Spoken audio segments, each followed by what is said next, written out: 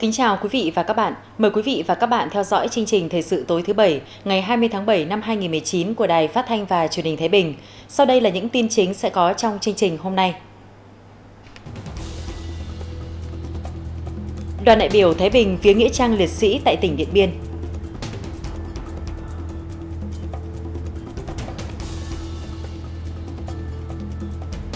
Sử dụng đất nông nghiệp trái phép, biến đất chuyển đổi thành thổ cư, làm nhà và các công trình kiên cố.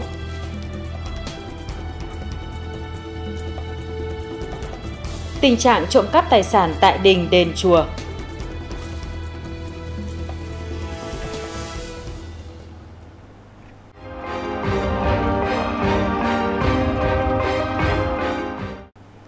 Sau đây là nội dung chi tiết. Thưa quý vị và các bạn, những ngày tháng 7, thành cổ Quảng Trị lại đón hàng vạn người con khắp mọi miền Tổ quốc, trong đó có đoàn đại biểu tỉnh Thái Bình, đến dân hương tưởng niệm, tri ân sự hy sinh của các anh hùng liệt sĩ, những người con huyền thoại về ý chí quật cường gan góc của người lính cụ Hồ.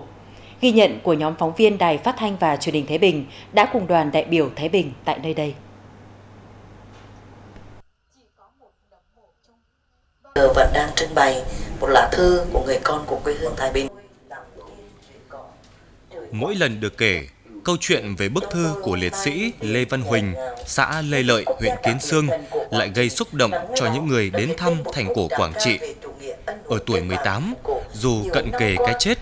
nhưng tâm sự của người lính trẻ gửi gia đình vẫn thể hiện sự lạc quan. Mẹ đừng buồn, coi như con đã sống trọn đời cho Tổ quốc mai sau.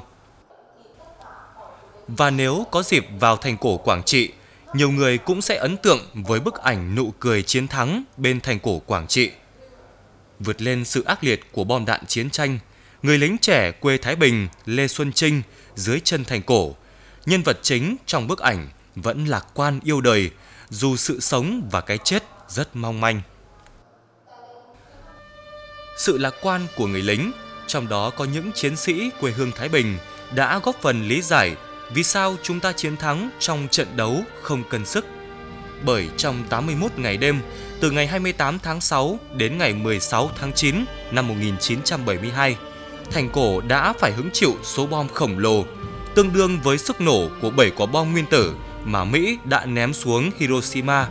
Trước anh linh các anh hùng liệt sĩ, những người con quê hương Thái Bình hôm nay nguyện phát huy truyền thống uống nước nhớ nguồn, đoàn kết một lòng, không ngừng phấn đấu, tiếp tục xây dựng quê hương ngày càng giàu đẹp và phát triển, đời sống nhân dân ngày càng được nâng cao.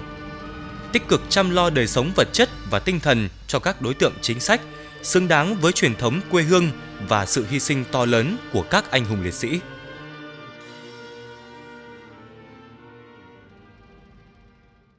Và là một người con Thái Bình, nơi mà cũng có rất nhiều các anh hùng liệt sĩ cũng đã nằm lại mảnh đất quê hương Quảng Trị thành cổ này. Nhưng mà ngày hôm nay chúng tôi đến đây để cảm nhận được trực tiếp được mới thấy được cái sự hy sinh gian khổ của các chiến sĩ các anh hùng liệt sĩ đã hy sinh một phần xương máu và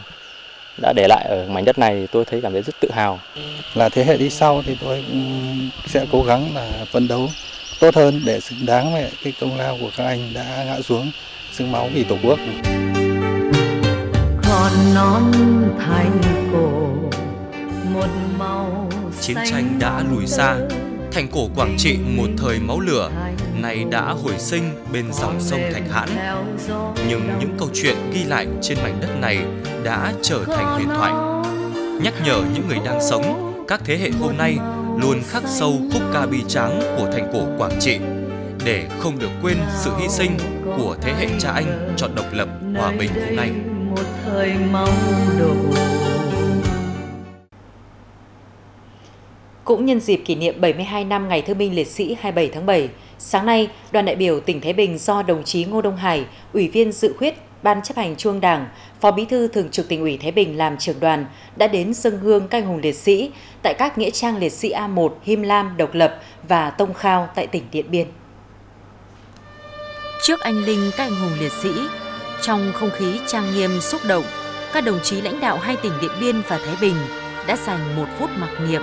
thành kính dâng hương trên đài tưởng niệm, thắp hương trên từng phần mộ các liệt sĩ, bày tỏ sự tri ân, tấm lòng biết ơn sâu sắc đối với những anh hùng liệt sĩ đã anh dũng hy sinh vì sự nghiệp giải phóng dân tộc, thống nhất đất nước.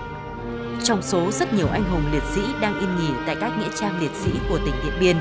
có nhiều người con ưu tú của tỉnh Thái Bình. Phát huy truyền thống Điện Biên Phủ anh hùng, Đảng bộ, chính quyền, Mặt trận Tổ quốc, lực lượng vũ trang và nhân dân hai tỉnh Thái Bình Điện Biên nguyện nêu cao tinh thần đoàn kết, quyết tâm không ngừng đổi mới công tác lãnh đạo chỉ đạo nhằm thúc đẩy phát triển kinh tế xã hội, củng cố quốc phòng an ninh, giữ vững chủ quyền biên giới quốc gia và đảm bảo an sinh xã hội, xứng đáng với sự hy sinh anh dũng của các thế hệ đi trước, quyết tâm xây dựng quê hương ngày càng no ấm, phồn thịnh.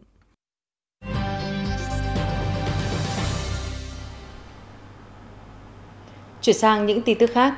Trong những ngày nắng nóng, một số địa phương đã rơi vào tình trạng mất nước. Song với việc duy trì vận hành hai trạm biến áp, nhà máy nước Quỳnh Giao đảm bảo cấp nước ổn định cho người dân. Nhà máy nước Quỳnh Giao thuộc công ty trách nhiệm hữu hạn một thành viên kinh doanh nước sạch Thanh Sơn có công suất 13.500 m khối một ngày đêm, hiện cung cấp nước cho 16 xã trên địa bàn huyện Quỳnh Phụ. Những ngày nắng nóng, nhu cầu dùng nước của người dân cũng tăng cao, công ty phải vận hành tối đa công suất. Do có hai trạm biến áp sẵn sàng phục vụ công tác sản xuất nước sạch, từ đầu mùa nắng nóng đến nay, nhà máy nước Quỳnh Giao luôn duy trì cung cấp nước ổn định cho người dân, đồng thời giảm tỷ lệ thất thoát nước xuống dưới 20%. Còn trên công trường thi công tuyến đường liên tỉnh nối đường vành đai 5 vùng thủ đô Hà Nội, đoạn trên địa phận tỉnh Thái Bình với quốc lộ 38B và cao tốc Hà Nội Hải Phòng là tuyến đường quan trọng. Hiện đơn vị thi công đang tập trung để đẩy nhanh tiến độ dù phải thi công trong điều kiện nắng nóng như hiện nay.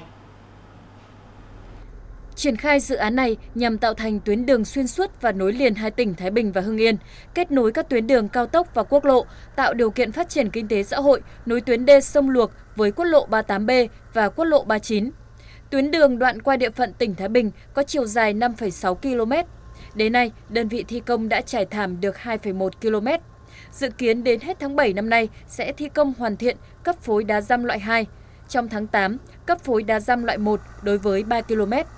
Hiện toàn tuyến còn trên 500 m đi qua nền đất yếu thuộc địa phận xã Hùng Dũng, huyện Hưng Hà. Đơn vị thi công đang thực hiện chất tải, dự kiến đến tháng 11 sẽ thảm xong toàn bộ tuyến đường và thông tuyến hoàn thiện trước ngày 31 tháng 12 năm nay theo yêu cầu của lãnh đạo tỉnh.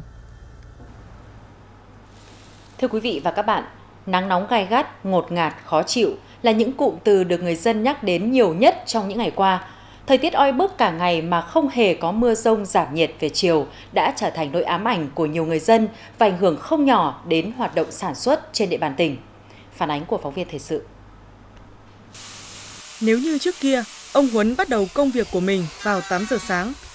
thì trong những ngày nắng nóng này, thời gian đã được thay đổi sớm hơn một tiếng. Song cũng không đủ để hoàn thành khối lượng công việc theo đúng kế hoạch. Đấy, nói chung là trong cái thời tiết nó nắng như thế này thì cái ờ, thời gian làm việc nó rất là ít mà cái ờ, rất là mệt mệt rất là mệt thế mà cái công suất làm việc thì nó chỉ đạt nếu mà làm tốt chỉ đạt được 60% khối lượng so với lại cái khối lượng bình thường mình làm vào những ngày gọi là nó nhiệt độ nó vừa phải. Mặc dù có hệ thống làm mát và chế độ ăn của công nhân cũng được nâng lên, nhưng do nắng nóng, sức khỏe của người lao động bị ảnh hưởng khiến doanh số của công ty trách nhiệm hữu hạn xuất nhập khẩu Phương Thanh giảm đáng kể. Công ty đã tăng cường cái thời gian nghỉ giữa giờ cho công nhân viên từ 15 phút lên đến 30 phút. Như ngày bình thường thì cơ sở chúng tôi sản xuất ra từ 5 đến 700 sản phẩm. Nhưng mà do thời tiết nắng nóng này thì năng suất sẽ giảm chỉ còn 3 đến 400 sản phẩm một ngày thôi. Nền nhiệt những ngày này trên địa bàn tỉnh Thái Bình chạm ngưỡng gần 40 độ C. Nắng nóng gay gắt khiến nhiều người không dám ra đường nhưng vì cuộc sống mưu sinh, một bộ phận lao động vẫn phải oằn mình dưới cái nóng như đổ lửa. Trong những ngày nắng nóng như thế này thì các cơ sở sản xuất kinh doanh phải trang bị cho mình những vật dụng à, tránh nóng cần thiết và phải tạo môi trường làm việc à, hiệu quả để năng suất lao động không bị sụt giảm.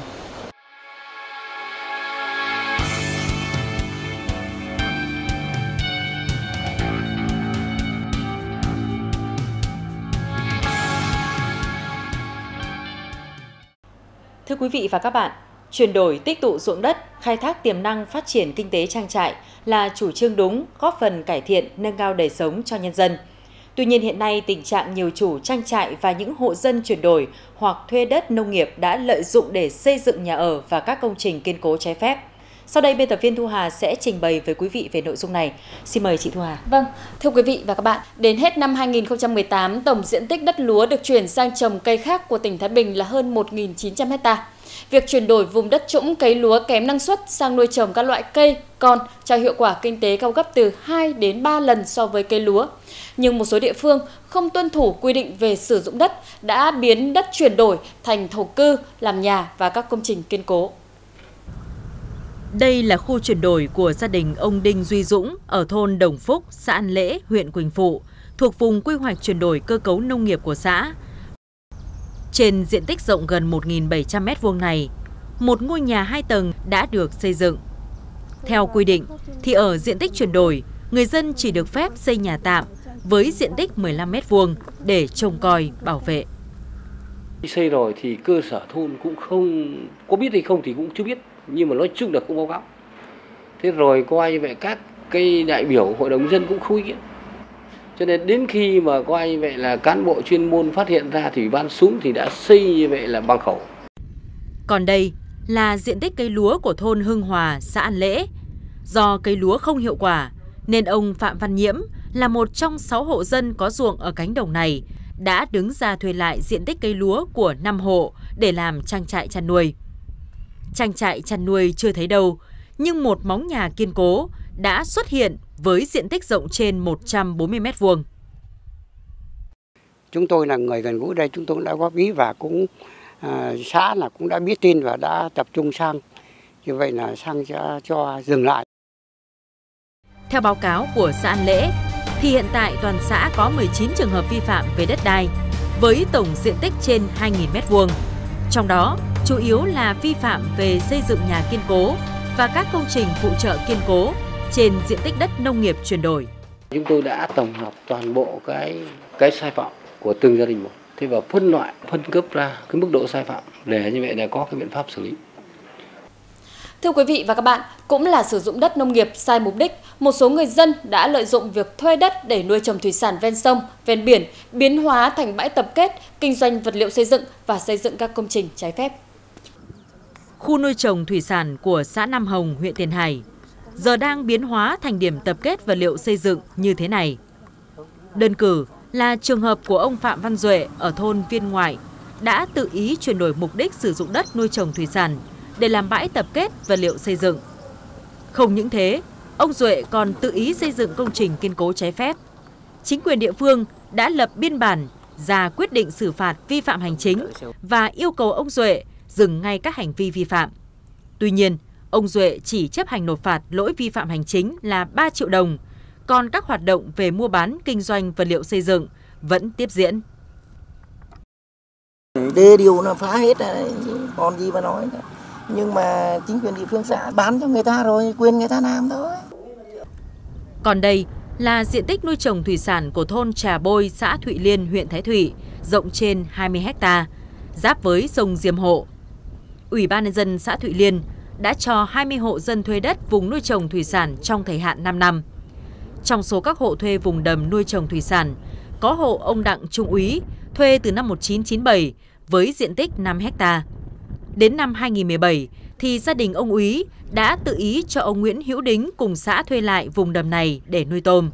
Nhưng ông Đính lại săn lấp và biến vùng đầm nuôi trồng thủy sản thành bãi tập kết vật liệu xây dựng. Tình trạng sử dụng đất nông nghiệp sai mục đích ở nhiều địa phương để lại hệ lụy rất lớn, phá vỡ quy hoạch, kế hoạch sử dụng đất, quy hoạch khu dân cư, nhất là khi có việc thu hồi đất để thực hiện dự án thì rất phức tạp Nguyên nhân do công tác quản lý đất đai chưa được quan tâm đúng mức, đặc biệt là cấp xã. Hầu như các xã có vi phạm không có báo cáo lên cấp trên. Do vậy, không xử lý được ngay từ thời điểm ban đầu hoặc xử lý không kiên quyết. Trước thực trạng trên thì cần có những giải pháp mạnh để xử lý các hộ vi phạm, quy định rõ trách nhiệm của tổ chức và cá nhân, đồng thời cũng tăng cường vai trò giám sát từ cơ sở để giải quyết kịp thời, triệt để, đồng bộ để chấn chỉnh tình trạng này. Tại kỳ họp thứ 8, Hội đồng Nhân dân tỉnh Thái Bình khóa 16, Giám đốc Sở Tài nguyên và Môi trường đã trả lời chất vấn về vấn đề này. Về cái trách nhiệm mà để xảy ra cái vi phạm này, thì trước hết là tổ chức cá nhân mà thực hiện cái việc chuyển mục đích trái phép này đã. Thứ hai đó là các cái cơ quan quản lý nhà nước, nhất là cấp xã trong cái việc quản lý sử dụng đất nông nghiệp, rồi cán bộ chuyên môn, rồi hệ thống ngành dọc tài nguyên môi trường chịu trách nhiệm trong cái việc mà để xảy ra cái vi phạm lỗ trũng này. Ở đây thì ờ, chúng tôi sẽ tiến hành tổ chức thực hiện các cái nhiệm vụ cụ thể. Thứ nhất là chúng tôi tăng cường tuyên truyền các cái chính lệch sách pháp luật về đất đai. Thứ hai là xây dựng các cái kế hoạch thanh tra, kiểm tra định kỳ và thực hiện các cái chương trình giám sát và kiểm tra đột xuất, phát hiện các cái hành vi vi phạm nếu có xử lý ngay là chúng ta phải xử lý kiên quyết vi phạm nếu có. Tinh thần của ngành thì đã rõ, các ngành chức năng và chính quyền địa phương cần có sự phối hợp chặt chẽ, thực hiện nghiêm sự chỉ đạo của tỉnh trong công tác kiểm tra, xử lý dứt điểm vi phạm lĩnh vực đất đai, tránh tình trạng đồn đẩy, né tránh trách nhiệm. Đến đây thì tôi cũng xin được kết thúc phần trình bày của mình. Mời quý vị và các bạn tiếp tục theo dõi chương trình thời sự.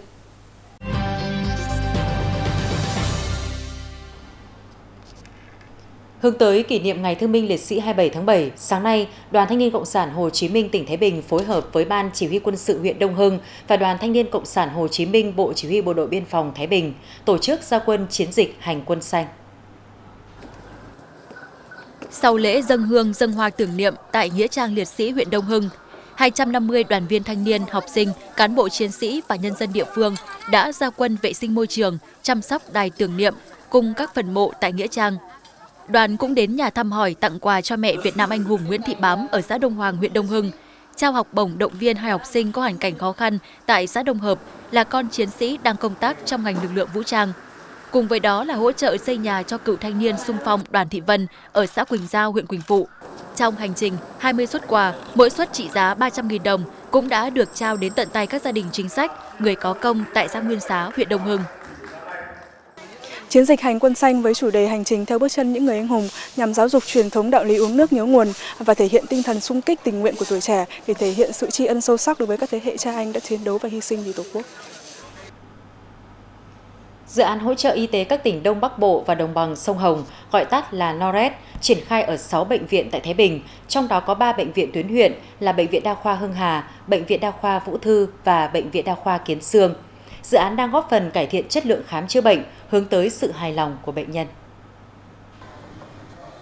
Nhờ sự tài trợ của dự án NORED, các bệnh viện tuyến huyện được mua sắm máy chụp X-quang kỹ thuật số DR trị giá trên 5 tỷ đồng, đầu tư hệ thống phòng mổ nội soi và các trang thiết bị cấp cứu như bơm tiêm điện, máy truyền dịch. Đồng thời, được hỗ trợ thực hiện nhiều chương trình đào tạo tại tuyến trên, đào tạo tại chỗ, Mỗi năm có hơn 300 lượt cán bộ thuộc các bệnh viện tuyến huyện được nâng cao năng lực kiểm soát nhiễm khuẩn, báo cáo sự cố y khoa, chuyển giao kỹ thuật về tim mạch, sản khoa, phẫu thuật xử lý chấn thương, chăm sóc bệnh nhân hồi sức cấp cứu. Mỗi bệnh viện trong dự án thực hiện khoảng 1.000 ca phẫu thuật một năm. Tỷ lệ chuyển tuyến giảm chỉ còn chưa tới 10%.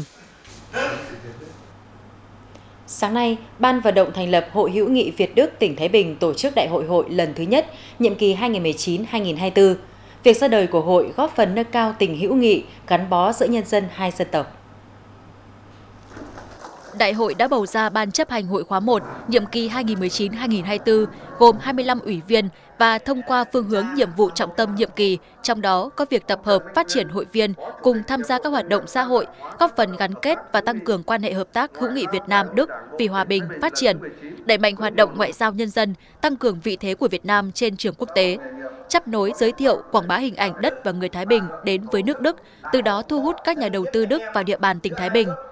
Đại hội cũng đã bàn và thống nhất tổ chức tốt các hoạt động kỷ niệm 45 năm ngày thiết lập quan hệ ngoại giao Việt Nam Đức và 35 năm thành lập Hội hữu nghị Việt Nam Đức vào năm 2020. Phần cuối bản tin tối nay là thông tin về tình trạng trộm cắp tài sản tại đình đền chùa. Thưa quý vị và các bạn, từ đầu tháng 7 năm 2019 đến nay, các đối tượng đã cậy cửa phá khóa và trộm cắp tài sản và đồ thờ cúng tại một số đình đền chùa trên địa bàn huyện Quỳnh Phụ, gây lo lắng bức xúc trong dư luận. Trước tình hình trên, Công an huyện Quỳnh Phụ đã chỉ đạo các đội nghiệp vụ giao cho đội cảnh sát hình sự khẩn trương xác minh, xác lập chuyên án đấu tranh và nhanh chóng bắt được đối tượng Nguyễn Văn Ca, sinh năm 1989, trú tại thôn Lại Xá, xã Thanh Thủy, huyện Thanh Hà, tỉnh Hải Dương. Điều tra mở rộng vụ án, Nguyễn Văn Ca khai nhận với thủ đoạn lợi dụng sơ hở của người dân đã cậy cửa, bẻ khóa, trộm cắp tài sản và đồ thờ cúng tại các chùa. Phúc An, Vân Linh, Thiên Phúc, Lương Phúc, Tư Phúc trên địa bàn huyện Quỳnh Phụ. Hiện Công an huyện Quỳnh Phụ đã thu giữ 12 quả trung đồng, 4 TV, 5 lo thùng cùng nhiều tăng vật khác có liên quan và tiếp tục điều tra mở rộng vụ án. Và thông tin vừa rồi cũng đã kết thúc chương trình Thời sự tối nay của Đài Phát thanh và Truyền hình Thái Bình. Quý vị và các bạn có thể xem lại chương trình Thời sự trên trang web thái bình tv.vn, trên ứng dụng TBTVG hoặc trên trang fanpage và YouTube của Đài Phát thanh và Truyền hình Thái Bình. Cảm ơn quý vị và các bạn đã dành thời gian theo dõi.